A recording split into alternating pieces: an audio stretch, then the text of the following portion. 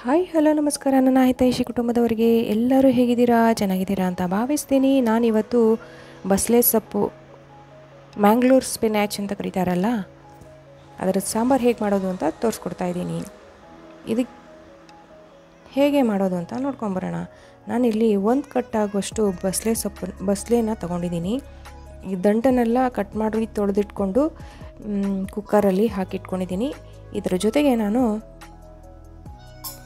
ಒಂದು ಕಪ್ ಆಗುವಷ್ಟು ಹಲಸಿನ ಬೀಜಗಳನ್ನು ಹಾಕೋತಾ ಇದ್ದೀನಿ.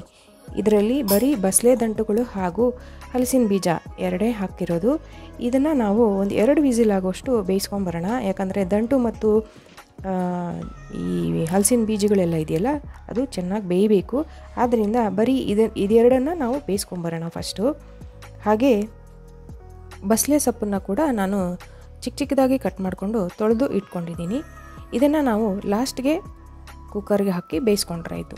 ಇವಾಗ ಮೊದಲು ನಾವು ಈ ಬಸಳೆ ದಂಟು ಹಾಗೂ ಬೀಜಗಳನ್ನು ನೀರು ಹಾಕಿ ಬೇಯಿಸ್ಕೊಂಬರೋಣ. ಬಸಳೆ ಹಾಗೂ ಹಲಸಿನ ಬೀಜಗಳು ಬೇಯೋಕ್ಕೆ ಎಷ್ಟು ನೀರು ಬೇಕೋ ಅಷ್ಟನ್ನು ಸೇರಿಸ್ಕೊಂಡು ಬೇಯಿಸ್ಕೊಳ್ಳೋಣ. ಹಾಗೆ ರುಚಿಗೆ ಎಷ್ಟು ಬೇಕೋ ಅಷ್ಟು ಉಪ್ಪನ್ನು ಸೇರಿಸ್ಕೋಬೇಕಾಗತ್ತೆ. ನಾನಿಲ್ಲಿ ಒಂದು ಚಮಚ ಆಗೋಷ್ಟು ಉಪ್ಪನ್ನು ಸೇರಿಸ್ಕೊಂಡಿದ್ದೀನಿ. ಇವಾಗ ಎರಡು ವಿಸಿಲ್ ಆಗೋಷ್ಟು ಬೇಯಿಸ್ಕೊಂಬರೋಣ. ಇವಾಗ ಮಸಾಲೆ ರುಬ್ಲಿಕ್ಕೆ ಒಂದು ಮಿಕ್ಸಿ ಜಾರ್ಗೆ ನಾನು ಒಂದು ಅರ್ಧ ಕಪ್ ಆಗೋಷ್ಟು ಕೊಬ್ಬರಿನ ಸೇರಿಸ್ಕೊತಾ ಇದ್ದೀನಿ. ಕೊಬ್ಬರಿ ಜಾಸ್ತಿ ಇದ್ದರೆ ಬಸಳೆ ಸೊಪ್ಪು ಸಾರು ತುಂಬ ರುಚಿಯಾಗಿ ಬರುತ್ತೆ. ಆದ್ದರಿಂದ ಅರ್ಧ ಕಪ್ ಆಗೋಷ್ಟು ಸೇರಿಸ್ಕೊಂಡಿದ್ದೀನಿ.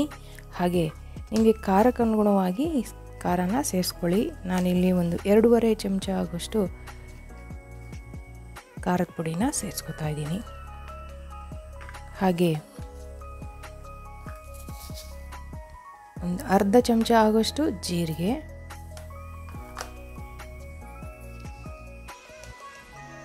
ಒಂದು ಚಮಚ ಆಗೋಷ್ಟು ಕೊತ್ತಂಬರಿ ಪುಡಿ.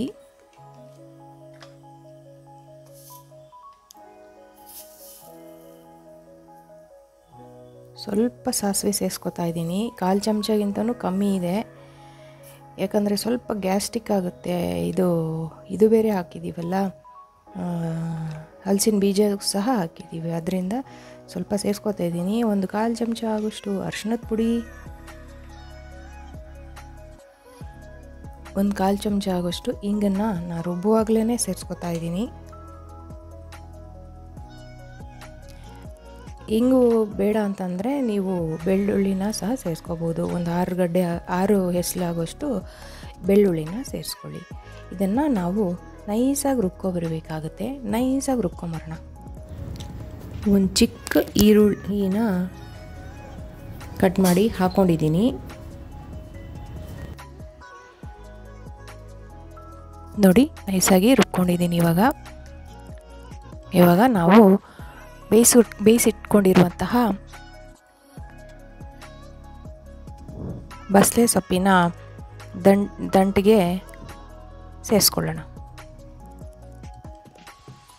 ನೋಡಿ ಬಸಳೆ ಸೊಪ್ಪು ಬಸಳೆ ದಂಟು ಕೂಡ ಚೆನ್ನಾಗಿ ಬೆಂದಿದೆ. ಹಾಗೆ ಹಲಸಿನ ಹಣ್ಣಿನ ಬೀಜ ಸಹ ಚೆನ್ನಾಗಿ ಬೆಂದಿದೆ.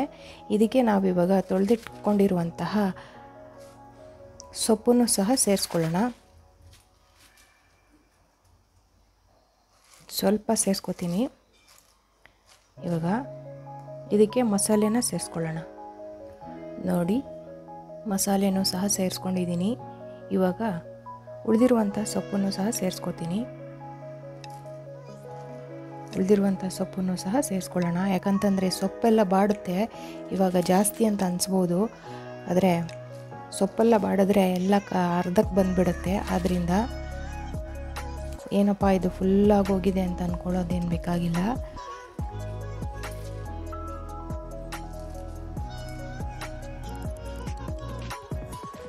ಇವಾಗ ಮಿಕ್ಸಿ ತೊಳೆದಿರುವಂತಹ ನೀರನ್ನು ಸಹ ಸ್ವಲ್ಪ ಸೇರಿಸ್ಕೊತಾ ಇದ್ದೀನಿ.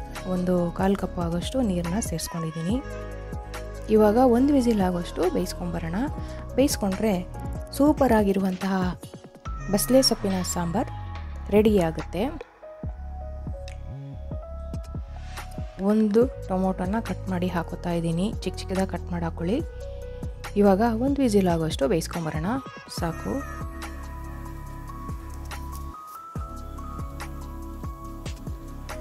ಒಂದು ವಿಸಿಲ್ ಆದಮೇಲೆ ಹೇಗೆ ಬಂದಿದೆ ಅಂತ ನೋಡೋಣ. ನೋಡಿ, ಎಷ್ಟು ಸಖತ್ತಾಗಿ ಬಂದಿದೆ ಅಂತ ಅಂದ್ಬಿಟ್ಟು ನಿಮಗೆ ಗೊತ್ತಾಗುತ್ತೆ. ಬೇಕಾದರೆ ಒಂದು ಒಗ್ಗರಣೆ ಹಾಕೋಬೋದು. ಹಾಗೇನೂ ಚೆನ್ನಾಗೇ ಇರುತ್ತೆ. ನೋಡಿ ದಪ್ಪವಾಗಿ ಮಾಡ್ಕೋಬೇಕಾಗುತ್ತೆ. ತುಂಬ ತೆಳ್ಳಗೆ ಮಾಡ್ಕೊಂಡ್ರೆ ಅಷ್ಟೇನು ಚೆನ್ನಾಗಿ ಬರಲ್ಲ. ನೋಡಿ, ಎಲ್ಲ ಸಖತ್ತಾಗಿ ಬೆಂದಿದೆ. ಹಲಸಿನ ಬೀಜನೂ ಸಹ ಒಳ್ಳೆ ಬೆಂದಿದೆ. ಬಸಳೆ ಸೊಪ್ಪಿನ ಗಮನೇ ಒಂಥರ ಬೇರೆ ಥರನೇ ಇರುತ್ತೆ. ಬನ್ನಿ ಸರ್ವ್ ಮಾಡೋಣ. ನೀವಿನ್ನ ಯಾರು ನನ್ನ ಚಾನಲ್ಗೆ ಸಬ್ಸ್ಕ್ರೈಬ್ ಆಗದೆ ನೋಡ್ತಾ ಇದ್ದೀರೋ ಪ್ಲೀಸ್ ಸಬ್ಸ್ಕ್ರೈಬ್ ಮಾಡ್ಕೊಂಡು ನೋಡಿ. ಹಾಗೆ ಪಕ್ಕದಲ್ಲಿ ಕಾಣುವಂತಹ ಬೆಲ್ಲೈಕನ್ನ ಪ್ರೆಸ್ ಮಾಡಿದರೆ ನಾನು ಹಾಕುವ ಎಲ್ಲ ವಿಡಿಯೋಗಳ ನೋಟಿಫಿಕೇಷನ್ ಬರುತ್ತೆ. ವಿಡಿಯೋ ಹೇಗೆ ಬಂದಿದೆ ಅಂತ ಲೈಕ್ ಕೊಡೋದನ್ನ ಮರಿಬೇಡಿ. ಹಾಗೆ ಕಮೆಂಟ್ ಮಾಡಿ. ನಾನಿವಾಗ ಬೇರೆ ಪಾತ್ರೆಗೆ ಸರ್ವ್ ಮಾಡ್ಕೋತಾ ಇದ್ದೀನಿ.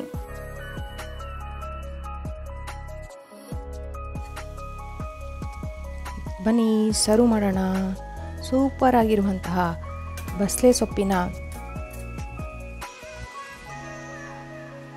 ಸಾಂಬಾರ್ ಸವಿಯಲು ಸಿದ್ಧ ಆಗಿದೆ ಸೂಪರಾಗಿ ಬಂದಿದೆ. ಒಂದು ಒಳ್ಳೆ ಘಮ ಕೂಡ ಬರ್ತಾ ಇದೆ. ಇದು ನಿಮ್ಮ ಮುದ್ದೆಗೂ ಚೆನ್ನಾಗಿರುತ್ತೆ. ಮುದ್ದೆಗೂ ಹಾಗೆ ಅನ್ನಕ್ಕೂ ಒಳ್ಳೆ ಕಾಂಬಿನೇಷನು ಬಸಳೆ ಸೊಪ್ಪು ತುಂಬ ತಂಪು ಬೇರೆ ಬಾ ಬಾಡಿಗೆ.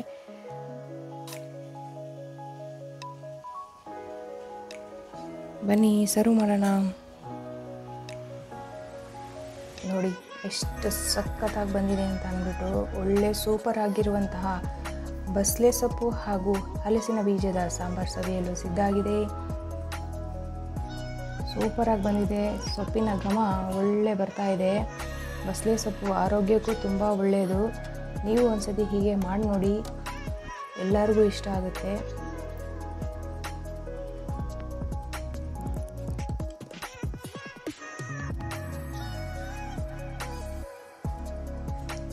ಸೊಪ್ಪುಗಳಲ್ಲಿ ಒಳ್ಳೆ ವಿಟಮಿನ್ಸು ಎಲ್ಲ ಇರೋದರಿಂದ ಆರೋಗ್ಯಕ್ಕೂ ಒಳ್ಳೆಯದಾಗಿದೆ.